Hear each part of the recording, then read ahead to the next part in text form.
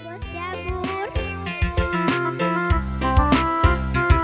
Bapak Warmin Penganten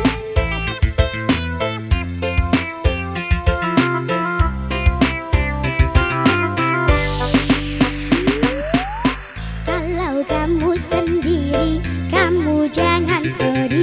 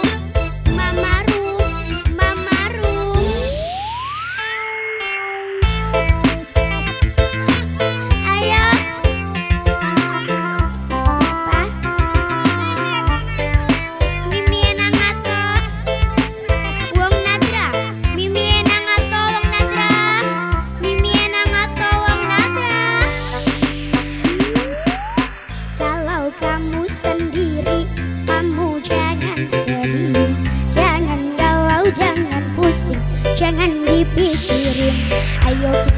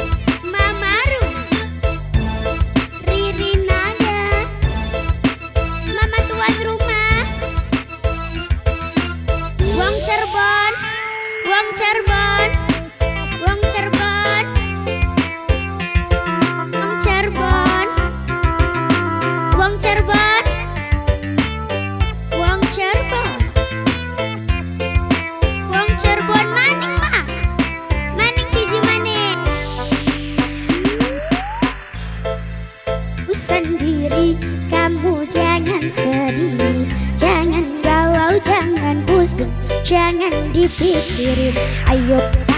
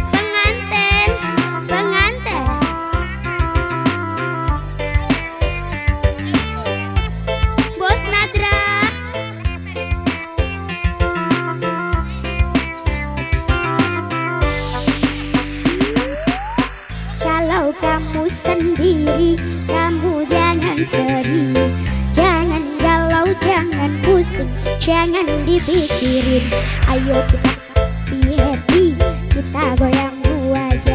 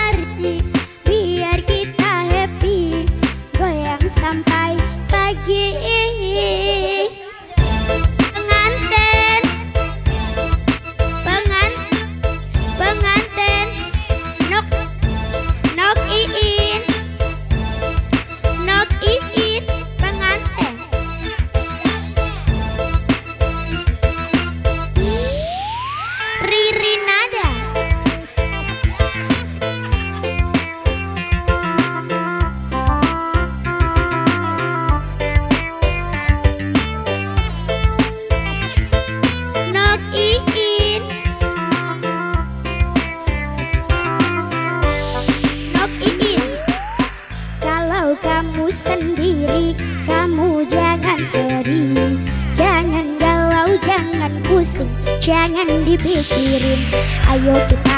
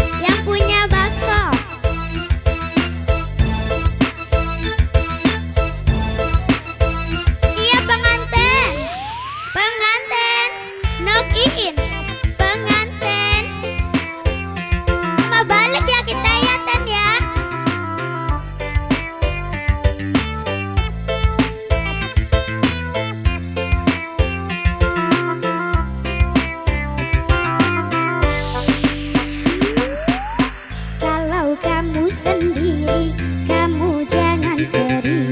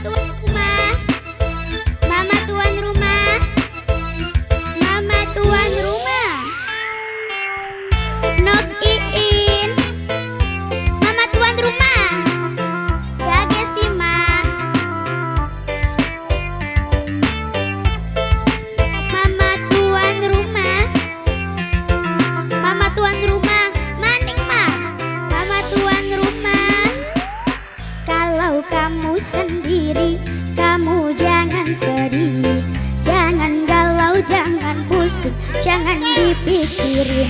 Ayo kita